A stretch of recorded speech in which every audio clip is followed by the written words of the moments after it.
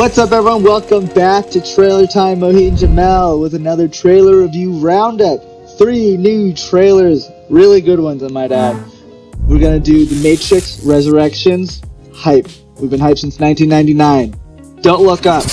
Enough said. And Last Night in Soho. It might be a su- surprise sleeper hit. But before we get into all these, sink our teeth into all these great trailers, don't forget to like, share, and subscribe to the channel. Hit the bell icon. Without further ado, let's get into them. Let's start with the one we've been waiting for since we were four years old. The Matrix Resurrections, Matrix 4, the sequel we've all been waiting for. The sequel we needed forever. I mean, it looks great. I'm just gonna say that. It looks like very similar to the original Matrix, the one that everyone loved. Bringing it into you know this year with the special effects, same kind of like fighting style, same kind of like movement, environment, and vibes. Damn, can't wait. It's I'm- gonna can't wait to watch it with my dad. feel It's gonna be so it's gonna be so endearing. Oh, that's gonna be good, dude. That's gonna be like full circle. Like, Oh yeah, I'm yeah, glad you yeah, got to share. Yeah, I'm glad you got to just share that with them. That's nice. yeah, yeah. I don't. I don't know if my parents are like big Matrix people. What I will say is, I got tons of flashbacks watching it from when I was in philosophy club in middle school. yeah, I was in philosophy club in middle school. I We just used to watch, had a like- philosophy club. I know, right? Well, we had we like formed it in my civics Wow. class. It's like this whole thing. But we used to just watch like thought provoking, like interesting movies and stuff. Interesting. Um, like Pleasantville. We watched Pleasantville like a hundred times. Um, Yeah. and then you guys are the beyond Matrix your was, like, a big years. I know, right? See, we're already doing all that critical thinking before all y'all people wrote all them books. But but I, so I got tons of nostalgia from that. What I will say is like I'm very undecided on how I feel about like the movie and like what's gonna happen. Like I I know it's gonna be good. I don't think that this these people would sign up for it if it wasn't gonna be good. Oh yeah, yeah. You, Um, think, do you think Keanu Reeves would sign up for some random Matrix No. movie that was just like whatever? No, not at He already all. did that. Not Two, at all. he already did that two times and learned his lesson. Not at all. I think they purposely like hit a bunch of the uh, like cool effects that we're gonna see coming out of like the transposition between like the Matrix and like the real world. Yeah, um, yeah. I would have liked to see more of that in a trailer. Like it would have got me more excited. I feel like there's a Uh, lot of like powers being used from all the characters, especially from Neo. Remember, he like moves that missile around like from one helicopter Yeah, yeah, yeah. straight into the next. Maybe it was just like hard to digest. Like there wasn't like a very clear. It was very Like, there, was, trippy, there wasn't a lot of clear. Very trippy, throwing a lot of vi- uh, visual lot stimulation lot all of at once. Yeah, a lot of visuals. Right. Um, got a new Morpheus. That's cool. I, I didn't. Morpheus? I'm curious to see how that.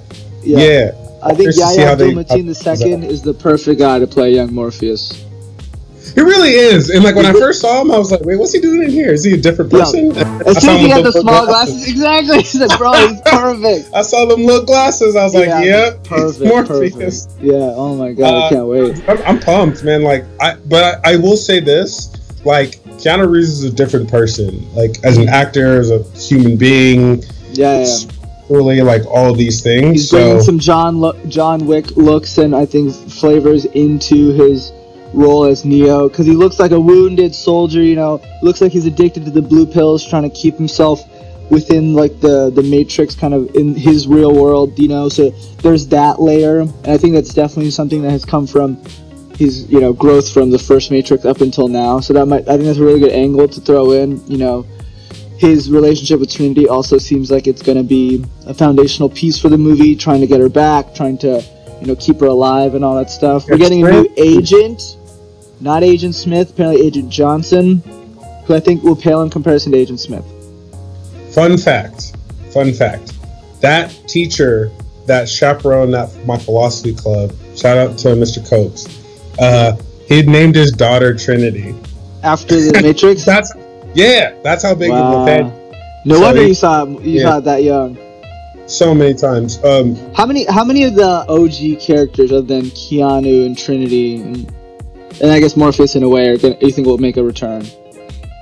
I think all of them. I think what they'll do is they'll have them, whatever the climax is, like the climaxing conflict, Mm-hmm. like they'll all show up to help Neo, Mm. like complete the mission or, or, or do So whatever they need. you, what else is left for them to do? They Yeah, who do you think the villain is? Like before, it was like the Agent Smith program, and they got rid of him. So like, if the villain is just Agent Johnson, I feel like that's kind of kind of a lame, lame villain to you know bring bring a, bring a movie back for. You know what I mean? Why would you bring a cast back for just the rehash? Yeah, yeah, that's true. What if So they they just like? chest. Maybe that's beneficial. I mean, maybe I was gonna say maybe like they go macro and the Matrix itself, and that the barrier between like reality and the dream world is broken down. Yeah, for uh, like So, like, they're colliding. Like you know, you know, yeah, yeah. wow, Neo freeze all people. Yeah, that I would be mean, sick. That'd be a good way to end it. That would be sick. So that look, the this is only the first trailer. They didn't say if it's a teaser trailer or not, so we just have to take a normal trailer face value. So they hid the plot from us pretty well with this trailer. So being able to talk about these questions, I think, is really important. Trying to dissect it, you know, amongst yourselves is part of this trailer's job, and I think it did that pretty well. Yeah, totally, totally. So, uh, what are you gonna rate this, dude? This is a big one. This is the Matrix, fam. Four out of five for me. I would have a little emotional bias towards this because this is like the, the the sequel for the Matrix that I wanted for so long. You know. Yeah, totally, totally. I, I gotta be honest, bro. I gotta keep it a buck. I'm gonna give it a three out of five. I don't like it as a trailer, to be honest. Like, just as a trailer. Maybe that's just me having too much like hype and like hella expectations. Yeah. And I have so many questions. Like, I want to know what, like, what's good. Like, our we, bro, we've been immersed in the Matrix universe for like 30 years now. yeah, I know. Um, it's a it's a cool trailer. I just yeah. I don't know. Maybe I just wanted to. I think if you have like an emo, if you have like such a strong connection to something like this, either goes like whatever you get, you're gonna love. But Yeah. if, or you can like, I deserve more because I've waited so long and I've been a part of this for so long. You know what I mean? Those I feel like those are the two reactions people tend to have. totally, totally. All right, let's move on to the next trailer. Don't Look Up, directed by Adam McKay, starring everyone. Everyone. an Oscar or something. Literally everyone in the entire in all of Hollywood. I can't like we would have to sit here for a separate video just to read the entire cast list. That's how long and stacked it is. Bro, deep. Remember, I was like, oh yeah, um, No Time to Die might have the best cast of all time. Yeah, I, that's shit exactly what I was thinking. We've said this so many times here on this channel. So many trailers have had stacked cast, best cast of all time. I feel like that's like a theme for 2021 or something. All these movies coming out have like insane cast lists that are so strong. like deep, bro. And then they're, they're coming. Not They're coming in hot. You know why? Because because all hitters. these people wanted to work with each other this whole time, yeah, yeah, yeah. and this is like probably the first time in the past like year or two where they really had like were able to, and like in person, no protocols, none of that yeah, stuff. Yeah, that's true. So I mean, dude, Jonah and Leo, like, oh my god, I can't wait. That they're literally two of that they have such a great dynamic ever since the Wolf Wall Street. They're my favorite duo to see on screen. No, no question. so funny. They just work that So work off each other so well. One thing I love about this trailer, you did you posted on Twitter, I posted on Instagram that it really doesn't give you the plot until the end, which is great because it really lets the characters themselves shine. Because that is what is going to really be the drawing aspect of this movie. I think the plot is interesting, funny, very you know resonant resonant with the times. I think Yeah. what Adam McKay has always done in all of his movies is like give us such amazing characters, and the plot's kind of secondary. You know, let's look at the Anchorman. Literally, there. I don't want to say Anchorman doesn't have a plot, but Ron Burgundy, Brian Fantana, B- Brick, yeah, whatever. They build it out of the characters- characters. Yeah. Exactly. Even in even in Vice, you know, you have Christian Bale as the vice president, who is the character that's kind of leading this. Even the Big Short, the story is interesting, but these characters make it so you move the story forward, and that's what I'm really looking forward to. Adam McKay is a very, very good director. Um, I'm, I love that he's kind of ge- gearing towards his drama, comedy drama um, space because I think he's been killing it. It's gonna be great. Leo, Jennifer Lawrence, Jonah Hill, Meryl Streep. Jennifer Lawrence. Jennifer It's been a Lawrence and Meryl since we've seen Streep, her. heavy hitters, fam. Heavy How hitters. did they get these people in Kid this? And Ariana Timothy- Grande.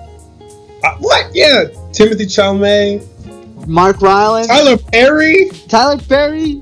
Yeah, we're hell? getting we're getting everybody. I don't. But I, again, if we talk about the plot too, I think it's gonna it's a hilarious just like plot to even dive into. These two low level astronomers are trying to warn everyone about this asteroid that's about to hit, and it seems like no one's taking them seriously, which I love. I love. And it seems like Jennifer Lawrence stuff. has her iconic snarkiness that we've come to know and love about her, just from that one scene in the restaurant. I can't wait. Oh my god, this is gonna be an ep- This is gonna be a great movie to watch. I think. Also, opening with like I like I said, like I love Leo stressed out. Like opening Yeah. with him freaking hyperventilating. I know. Yes. Perfect. There you go. Like, you, he comes off the character. You already are kind of invested in what this guy's deal is. He just does a great job, and it's a teaser trailer, so it does a really good job. It explains the plot. It gives you a lot of insight into characters. So I think it's a really, really effective trailer in that way. Dope. Same. What? Are Same. you gonna rate it? Five out of five. Wow, five out of five. Loved it. Okay. Loved I'm gonna it. give it a four and a half out of five. Five out of five. Very interesting. I mean, I, I couldn't think. I can't think of anything bad about it. Yeah, exactly. No, yeah, that's fair enough. You're like, it's perfect. Perfect way to tease I'm us. gonna go four out of five, four and a half out of five. All right, last trailer of the day. We have Edgar Wright's next movie. He's been hibernating for a while, coming out hard with this movie last night in Soho. This is the official trailer. We got the teaser trailer a couple months back. Um, let me read. Eloise, a young woman with a passion for fashion, mysteriously finds herself transported back to 1960s London, where she enters the body of her idol named Sandy. And once she enters a romantic relationship, she begins to realize the glimmer, the glittering times of 1960s London is not what it appears to be, and everything falls apart with some shady and horrifying consequences. So if you watch this trailer, you'll you'll you'll realize that it's about kind of like a time traveling murder mystery thriller. It's not a mystery; it's a murder thriller movie. And I think that's kind of a departure from what Edgar Wright's given us so far, and I think he'll be really good at it because he's always been one to dive into kind of new genres every now and then and put his best foot forward. I think we'll get two great performances from the two female leads, Thomasin McKenzie and Anya Taylor Joy. They've literally been, you know, going from strength to strength in these past couple of years.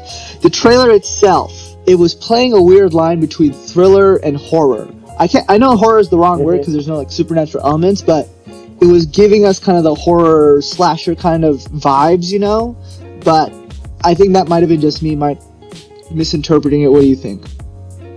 No, I think it was full horror because Yeah. the way the only reason I say that is because they do like a very clear shift from Mhm. like happy dream Yeah. world to like Yep.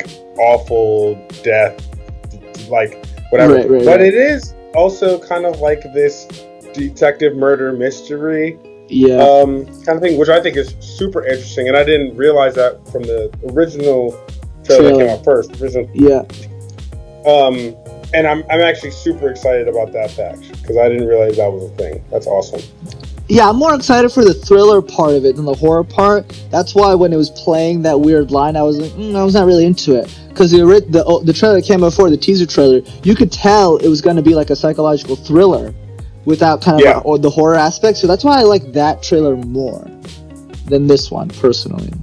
I don't know. This one made me made it more interesting because, I, okay, it's like when someone gives you a empty um, or like a completely brand new puzzle, and you're like, yeah, I'll get to this. This is okay. someone gives you like a half finished one.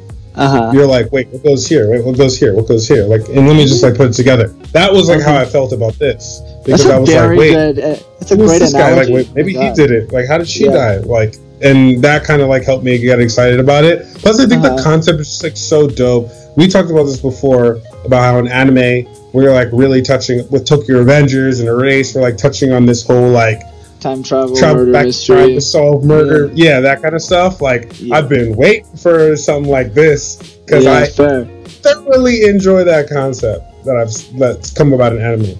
Fair enough. So since they kind of give away the killer in the trailer, doesn't that kind of ruin the whole plot of the movie? Is that how it felt for me? Hmm. Uh, not really. Like You think it, you think I it's a red herring, a misdirect? Yeah, because there's probably because if they were yeah, because the way that they, they framed in the trailer, if they were gonna give us all that stuff, bro. Like, there's probably so much more that they didn't reveal, or like so many Yeah. twists. This is probably like a multiple t- big twist type movie. There's probably got like three or four Yeah. big ones that Yeah. spread out. Yeah, Edgar Wright's too smart of a, a writer and a creative to kind of give away that much right away. So I can see that there being a bit a twist for sure, especially if you like designate your movie as a psychological thriller, like a twist or like something you weren't expecting is kind of a must. Like you need it to really throw you, like keep you at the edge of your seats and throw you off the seat. You know what I mean? Uh, yeah, no, 100%. Were you also, uh, yeah, that, that's actually a really good point.